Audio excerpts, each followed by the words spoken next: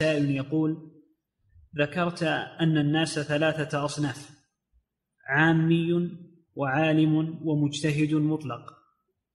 ماذا عن طلب عامي وإيه؟ وعالم؟ ها؟ وعالم. عالم؟ نعم. إيه عالم يعلم الأدلة والترجيح. يعلم الأدلة والترجيح. نعم.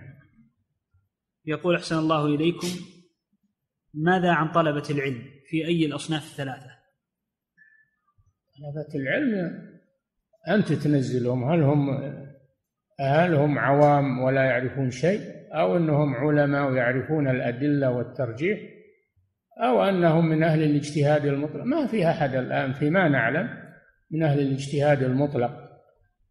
إنما يكفي أن يكون عالما بالأدلة والترجيح والأخذ بالراجح.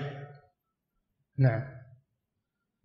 أحسن الله إليكم فضيلة الشيخ هذا سائل يقول ما المراد لأن بالشيء الاجتهاد المطلق له شروط تراها الأصوليون ما تنطبق على كل أحد. نعم.